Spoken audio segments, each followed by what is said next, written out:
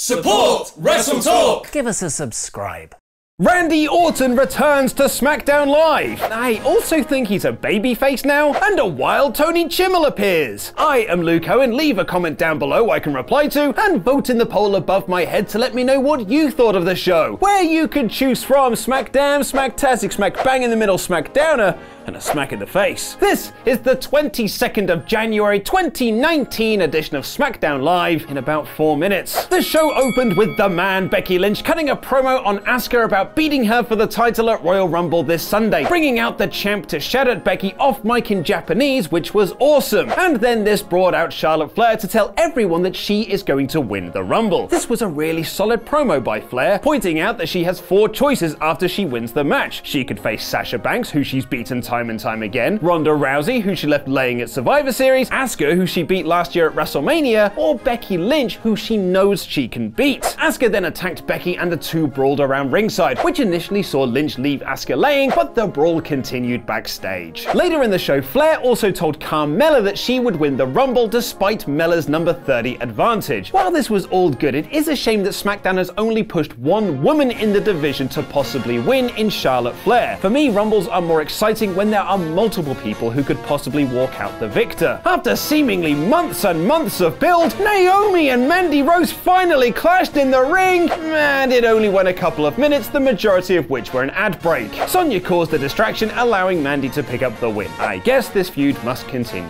As if to mirror the previous outing, Sheamus interfered in Cesaro's match with The Miz to allow the Swiss Superman to pick up the win. Shane McMahon tried to attack the bar after the match, but got laid out by a brutal looking Brogue Kick right to the face. They then put Miz and Shane through the announcer's table to leave the tag title challengers laying. This was another solid angle to build a match this coming Sunday. Vince McMahon came out to moderate a face to face between AJ Styles and Daniel Bryan, but the WWE champion, who continues to be my style icon, didn't want to get in the ring with such a dangerous man. He instead cut several amazing promos on the outside, first attacking AJ saying the future of the WWE will be terrible with him as champion, as Bryan Bryan is doing this for the greater good. The greater good.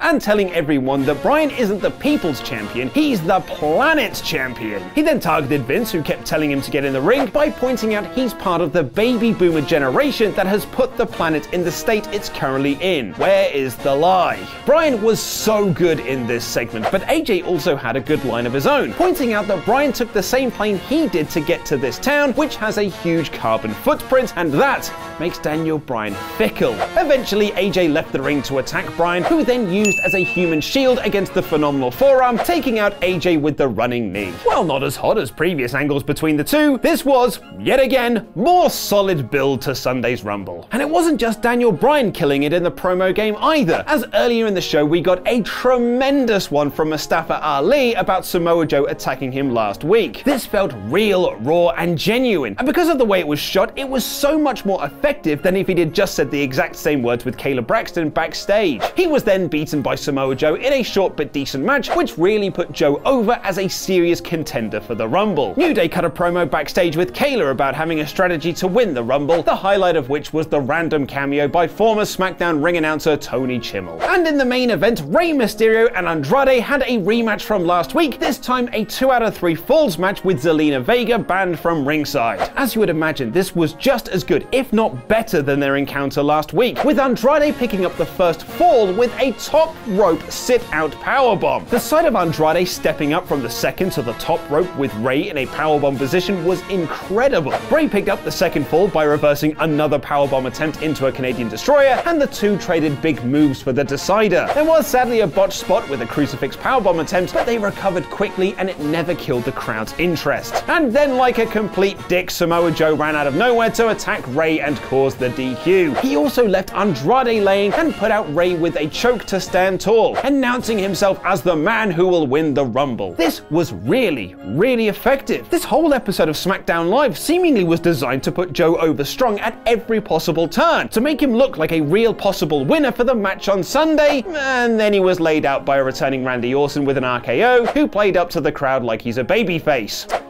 Well, that was a shame. This was another really enjoyable episode of SmackDown Live, which not only did a good job of building the Royal Rumble undercard matches, but also the Rumble itself.